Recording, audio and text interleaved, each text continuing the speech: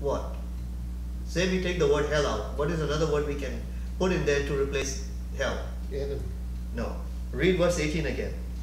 They loathed all manner of food. They were at the gates of death. Oh, at the gates of death. Okay, so when Jesus is talking to Peter and he's telling him, Thou art Peter, and on this rock I will build my church, and the gates of Death. death cannot stand against it, right? So we ask ourselves, uh, and let, let, let's, let's make sure we read that verse correctly, okay? So this is why I want to go to Matthew verses uh, 16 and 18.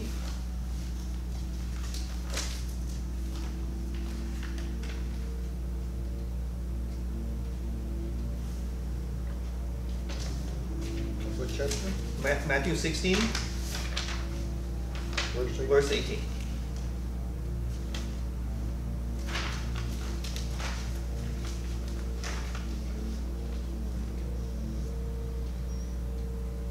Let's read from 17. You can go ahead, read it. Jesus said to him in reply, Blessed are you, Simon, son of Jonah.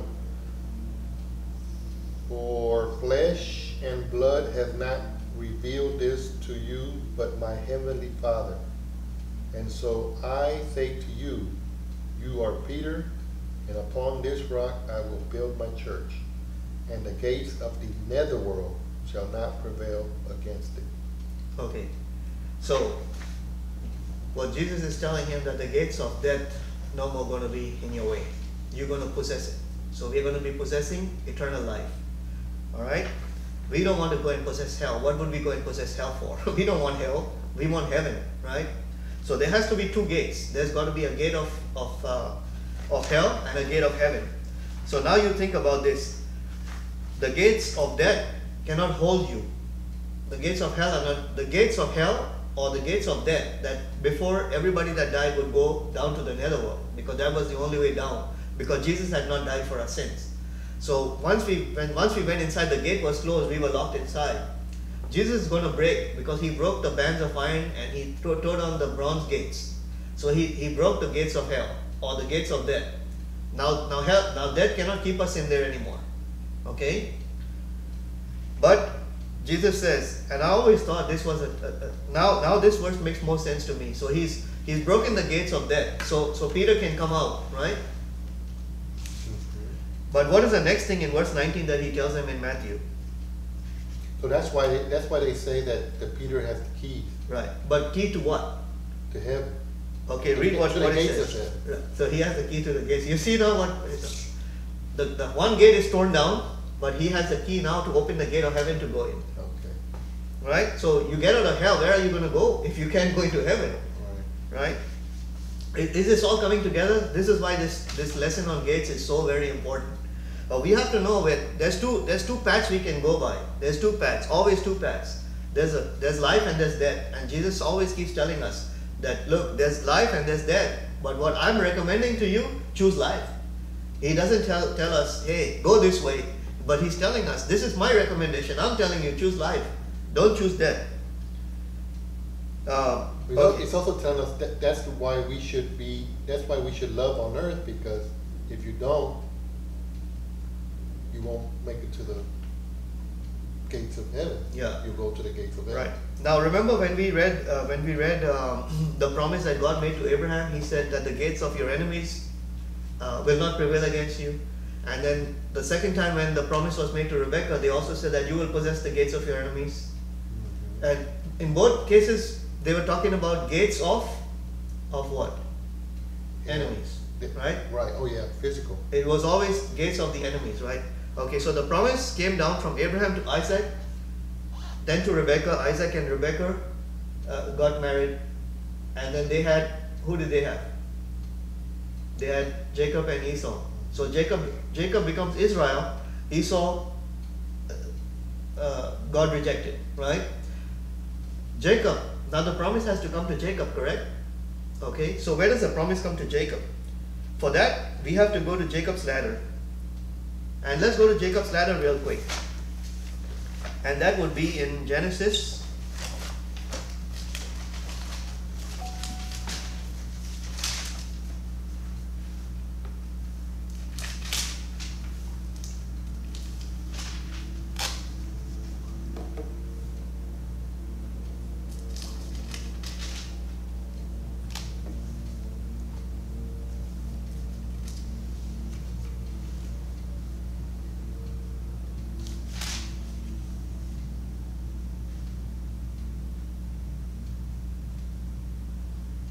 Okay, let's go to Genesis chapter 28, verses uh, 10.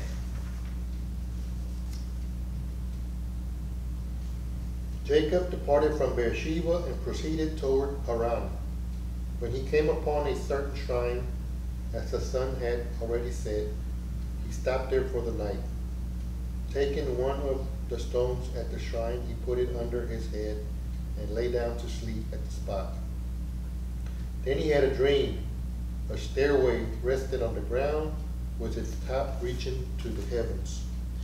And God's messengers were going up and down on it. And there was the Lord standing beside him and saying, I, the Lord, am the God of your forefather Abraham and the God of Isaac. The land on which you are lying I will give to you and your descendants. Okay, let's, let's go to verse 16. When Jacob awoke from his sleep, he exclaimed, Truly, the Lord is in this spot, although I did not know it. In solemn wonder, he cried out, How awesome is this shrine! This is nothing else but an abode of God, and that is the gateway to heaven. Stop. So, again, we come to the gate. And you see there's a gateway to heaven. How did that become a gateway? Do you know why? Because Abraham had built an altar there previously and he had offered sacrifice to the Lord. So, when we offer sacrifice to the Lord, we open a gateway to Heaven. heaven. Now we are not talking about enemies here. We are just talking about the gateway to heaven. Because Jesus came and he destroyed the enemy, and so now we are able to go into heaven. But again, when it talked about the, the, the angels, it said that the angels were ascending and descending, right? They were going up and then coming down. You would assume that if the gateway opened from heaven to earth, that the angels would come down and then go back up. But why does it say that the angels were ascending and then descending?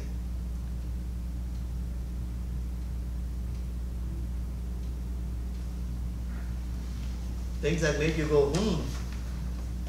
So you see, when we offer prayers and alms and tithes to God, the angels take these gifts and they go up. And they tell God, this is the, this is the, the person's offering, right? Because we can't go up to heaven. So the angels do that for us. So they take the tithes and they go up and they offer it to God. And then God sends blessings down and the angels come back with the blessings for us. Okay? Uh, so in, let's go to Psalm 100 and verse 4 really quick. Is the gate starting to make a lot of sense to you now? So just keep in mind there are there are different gates. There's there's gates going to heaven, but there's also a gate going to hell. So we go to Psalm 100, and we are trying to go to uh, verse uh, 4.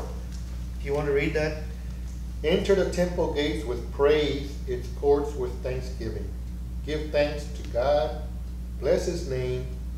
Good indeed is the Lord, who's love? whose love endures forever, whose faithfulness lasts through every age. So the gates of heaven is also the gates of the temple. So when we are going to church, we are basically entering heaven's gates. And what are we supposed to do while we are there? We are supposed to enter the temple gates with praise, the courts with thanksgiving.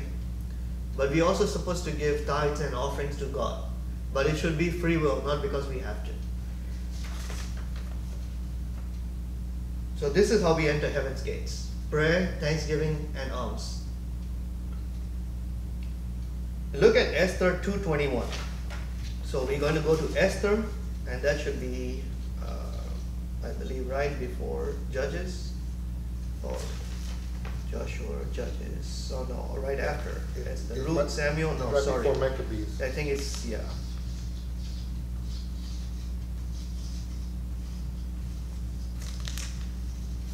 Okay. Esther is one of the few books in the Bible, not one, it's the only book in the Bible where the name of God is never mentioned. Just for your general knowledge. But let's look at Esther 221.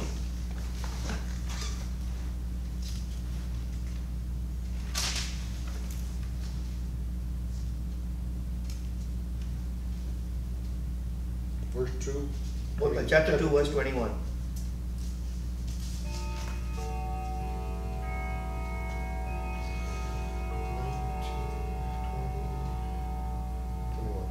And during the time that Mordecai spent at the king's gate Bagathan and Thares, two of the royal eunuchs who guarded the entrance, had plotted in anger to lay hands on King Ahasuerus. When the plot became known to Mordecai, he told Queen Esther, who in turn informed the king for Mordecai. The matter was investigated and verified, and both of them were hanged on a gibbet. This was written in the annals for the king's use. So the reason I brought you here was to tell you that Mordecai, who is Mordecai represented also by us, okay? So he's sitting in the king's gate. So just because we are sitting on, on the path to, to the gate of heaven, but we could still also at the same time be hearing stuff that's being plotted for evil. Right? So this is where we make the choice that do we join the evil, okay, and we get lost and we go back, uh, you know, detour back down to the gates of hell, or we make a stand over there and we go do the right thing and we inform God, right? And he, he will fix the problem. So what I'm trying to tell, explain is that just because we, we think that we are religious or we are holy or something, evil can still come in. Even though we're sitting at the king's gate, we could still hear evil being plotted. We could join the evil or we can make our stand. For example, when Satan came into the garden with Adam and Eve and he started whispering in Eve's ear, surely God didn't say. At that time, Adam had the choice to kick Satan out because he was already there in the temple, in, or you could say in the in, in he had already he was already inside the gate. He could have kicked Satan out, and everything would have been fine. Or he could have even gone crying to God and told God, "Look, this is what Satan is saying," and God would have taken care of Satan at that time, right? But he chose not to. So just because we are in a good place doesn't mean that we can't fall. We have to be careful. So uh, let's go to Judges 16.1. I'm going to take you on a trip through the whole Bible, right? Or at least through the Old Testament. Let's go to Judges. Now we're just going to see different sides of what the gates actually stand for or, or what can happen to us. Or we, we Judges chapter 16.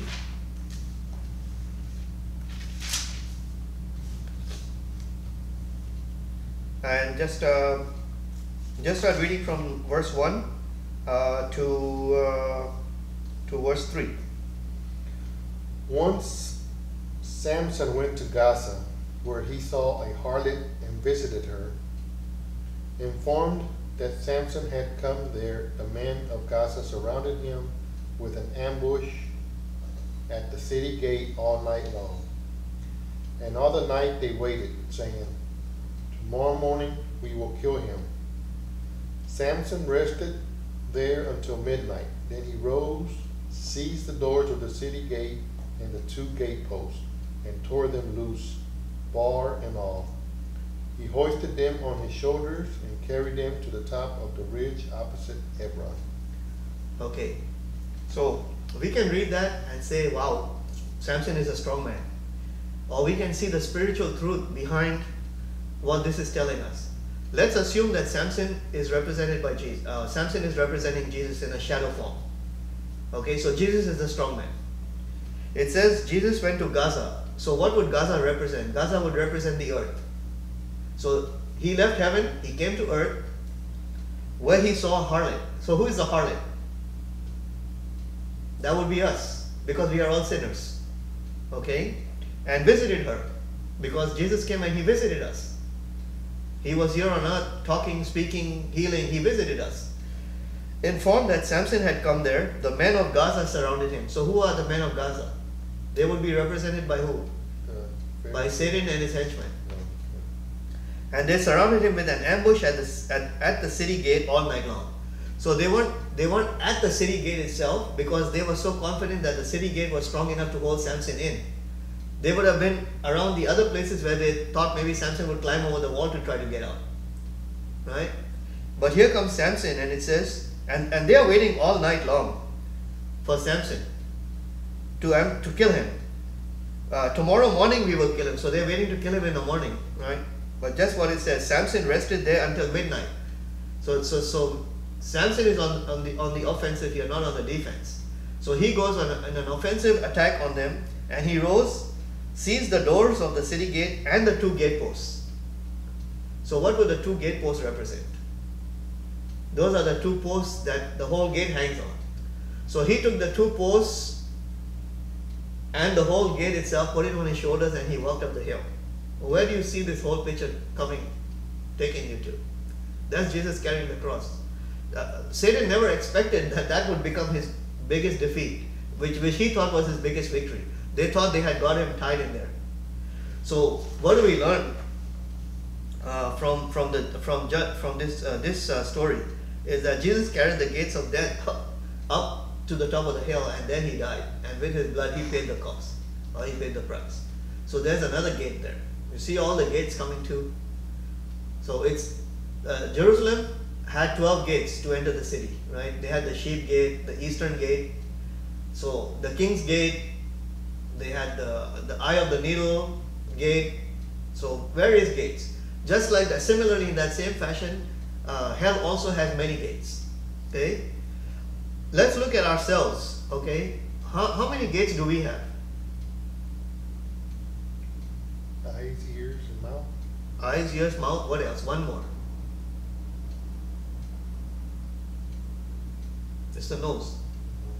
So, how many ears? Five senses. Yeah, it, it covers all the five senses. But how many ears? Two, Two. How many eyes? two, Two. How, how many nostrils? two, Two and one mouth, right? So, total how many? Two, four, six, seven. That's a seven lamp candlestick. It's a number of perfection. So, we can either let good things in and open up the gate, or so basically, what we are trying to teach, what, what we have to come to the end of this lesson as far as gates are. And so, who is the worst? Who is our own worst enemy? ourselves. Ourselves.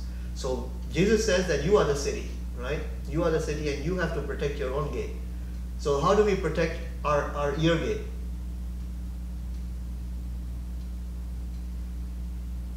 Discern. By learn by listening to good things and not uh, going around in bad company where they're talking garbage all the time or cracking dirty jokes. That's how we protect our ear gate. How do we protect the eye gate? By seeing pornographic stuff or anything that is evil or lust because when, when you look at something you lust after it lust we think of lust always in the term in the terms of adultery or sexual sins but but eyes could also be lusting after anything like we could be lusting after food. Covet. coveting and looking at something that we just want. It, it doesn't have to al- always be about sex. What would you think uh, the mouth? The mouth is one of the unique things where not only do things come out but things also go in. So how would the, the mouth be a gate Gotta be eating good stuff. good good food or bad food. And so we destroy our body. Because jesus says our our body is a temple so what what would what could we be putting into our bodies that would desecrate the temple? It could be uh, drugs or alcohol or tobacco or stuff like that that would be desecrating the body. So we have to protect ourselves not just what we think is sin but we could also be desecrating our bodies through through stuff that we think is good. So we have to protect our gates. And Jesus says that I'm I'm standing at the door and I'm knocking. And whoever opens the door, I will come in. So we are we are the temple, we are the gate. We are the door. Jesus is also the door.